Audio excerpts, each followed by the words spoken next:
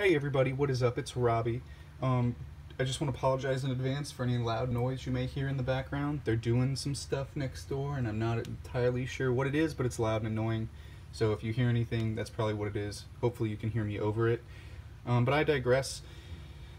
What I want to show y'all today is a cheap alternative to buying a V3 Accessport. So if you didn't know, this is a V2 Accessport um, it's for tuning your car, doing logs, but what more importantly, what I'm going to talk about today is that it can only read one live piece of data at a time because the screen is so small. So the main difference between the V2 and the V3 is the larger screen. So you're able to read up to six live parameters at once instead of one. So you may be asking, you know, why, Robbie, wouldn't you just invest in a v3 Accessport. If if you know live parameter is so important to you. Well the reason I haven't upgraded is because they are two to three hundred dollars more expensive than the little V2 right here. And you don't get that much difference besides the bigger screen. Yeah it can log a little faster or it can upload a map a little quicker or you can set you know you know your live rev limiter or launch controller or you know whatever the hell. But it, it's for $300 more it's not that worthwhile to me. And what I'm going to show y'all is it's bigger than that. It's not just reading live data. It's also it's it's a cheap way for you to read live data on any car. So it doesn't have to be ones that are compatible with the Accessport line. You can use it on any car. I plugged it into a, a Miata the other day and I was able to get a bunch of live readings that, you know, he wasn't able to see before. So you can look at how your car is running, maybe diagnose some issues. It can even read and clear trouble codes, which is really important. So we're going to push the Accessport aside, now that you kind of know what it does and why I have a problem with it, and I'm going to show you what I got to replace it. So this is the first piece of gadget that you're going to need. What this is, is a Android tablet uh, an, an end pole more specifically. It's really cheap. It was 20 bucks on eBay. Um, the most important thing about the tablet, if you're going to do what I am suggesting, is it just needs to run Android, and you're going to need to download uh, Torque Pro. Oh, God, wow. Sorry about that focusing issue right there. But anyway, it's an end-pole tablet. It's really small. It's like 7 inches. I didn't want a huge one because uh, it's going to look really cluttered on your dash. I mean, if you want the bigger the screen, the more parameters you can show, but I didn't want a super big one. I wanted something to fit kind of cleanly. Um, and the nice part about this is, is if you do hook it up to your dash or you make a little stand for it in your car, you know, you can download Spotify and maps and shit like that. So you can essentially have like a double-DIN kind of thing, like a little touchscreen. So it's kind of nice for that.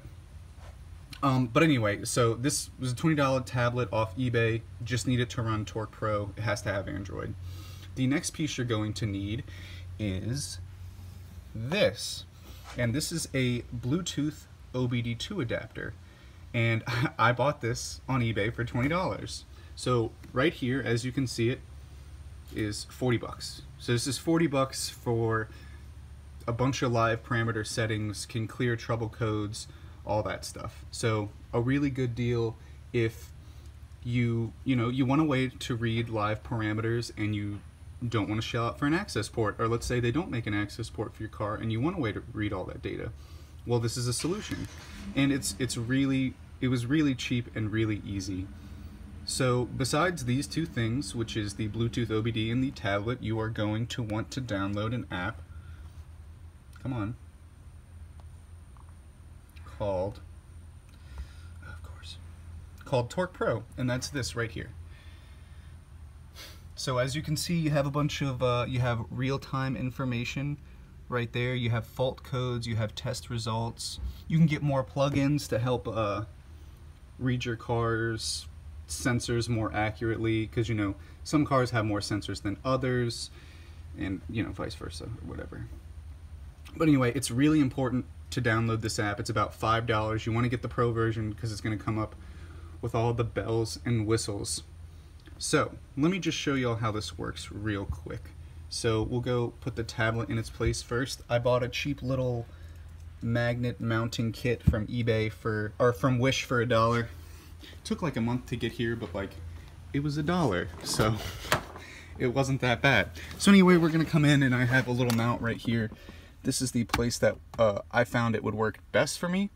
So it's kind of in the middle, but like I can still see uh, my mileage and stuff, which would show up right here. So anyway, that's where it sits. So now we're gonna go grab the OBD2 adapter. And we're going to plug it into our OBD2 port. And if you don't know where that is, I'd look at your manual. But for speed 3s, they are right here by this little like coin tray thing.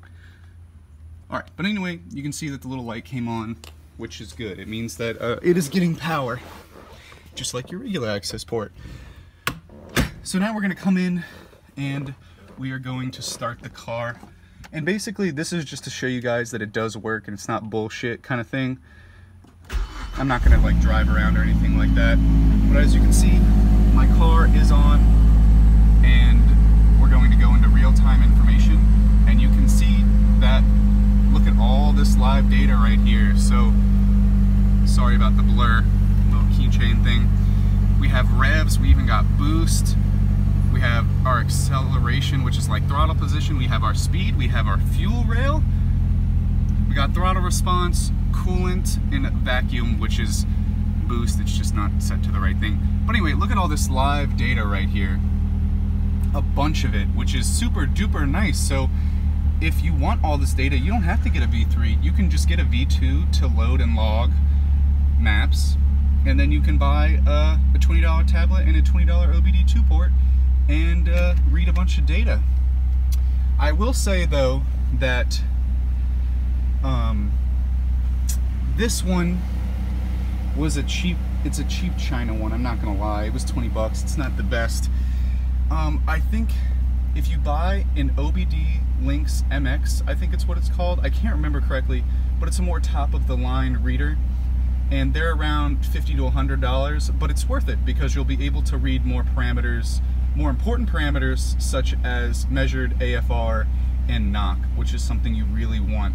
So just to warn you guys, if you buy the cheap China knockoffs, you'll be able to read data, but you won't be able to read certain other sensors like knock. But um, overall, I think for $40, it's fucking worth it. Like, it's pretty cool. It's pretty awesome that for $40 you can get a bunch of live readings from your car without having to buy a super expensive product like an Accessport.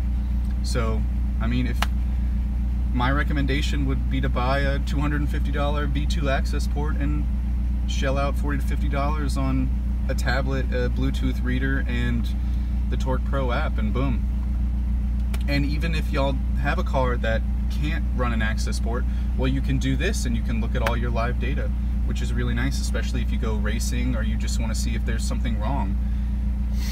So basically, guys, that's pretty much what I wanted to show y'all. I think it's, for $40, it's awesome. And if you have $40 laying around and you're really into your car and you're really into making sure it's running correctly, I would, I would go ahead and get one.